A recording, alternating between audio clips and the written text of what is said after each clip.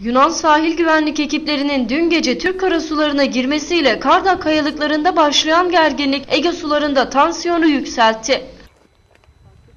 Türk sahil güvenlik ekipleri ve Türk savaş gemileri Kardak kayalıklarını dört bir yandan kuşatırken olayın ardından ardı ardına açıklamalar geldi.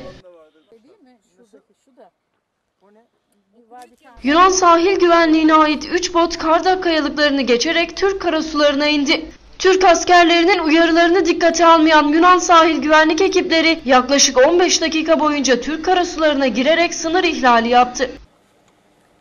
Türk karasularından çıkmayan Yunan sahil güvenlik botuna Türk sahil güvenlik ekipleri tarafından müdahale edildi. Yaklaşık yarım saat boyunca kovalamaca yaşanan Türk sularında yaşanan gerginliğin ardından Türk sahil güvenlik ekipleri Yunan sahil güvenlik botuna çarparak Türk karasularından çıkardı. Olayın ardından Kardak kayalıklarına iki hücum botu, 6 sahil güvenlik botu, bir savaş gemisi ve bir arama kurtarma gemisi sevk edildi. Dört yandan kuşatılan Kardak kayalıklarında kuş uçurtmayan Türk askeri havanın kararmasına rağmen bölgeyi terk etmedi.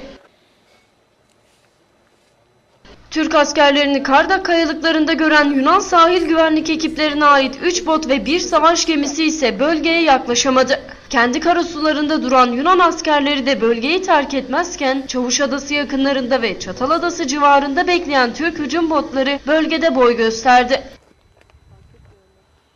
Olayın ardından Yunan hükümet sözcüsü Dimitris Toanakopoulos, Türkiye hakkında küstah açıklamalarda bulunarak komşumuz davranışlarıyla sarsıntıların aşılmasına yardımcı olmuyor dedi.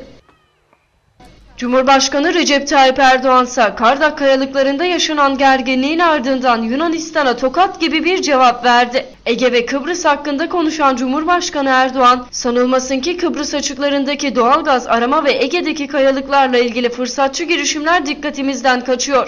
Kıbrıs'ta ve Ege'de haddini aşanları yanlış hesap yapmamaları konusunda buradan ikaz ediyoruz. Bizim için Afrin neyse Kıbrıs ve Ege'de odur. Yunan botlarının Kardak'a bu tür geliş gidişleri oldu. Biz başından itibaren Yunan tarafına bu tür şeyleri yapmayın. Bu dalaşı artık havada da bırakalım denizde de bırakalım dedik. Bırakılmayınca da askerimiz görevini yapıyor. Herhangi bir sıkıntı yaşanmadan iş bitirildi şeklinde konuştu. Dışişleri Bakanlığı Sözcüsü Hami Aksoy da konuyla ilgili olarak protesto girişiminde bulunulduğu iddiası çarpıtmadır. Yunan tarafı kamuoyunu yanıltmaktadır açıklamalarında bulundu.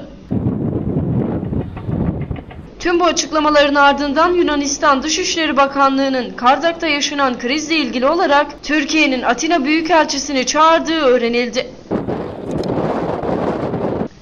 Kardak kayalıklarında yaşanan gerginliğin ardından Başbakan Binali Yıldırım, Yunanistan Başbakanı Çipras ile görüştü. Başbakan Yıldırım görüşmede Ege'deki gerginlikten rahatsızız, tansiyonun düşmesi için Yunanistan gerekli adımları atmalı ifadelerini kullandı.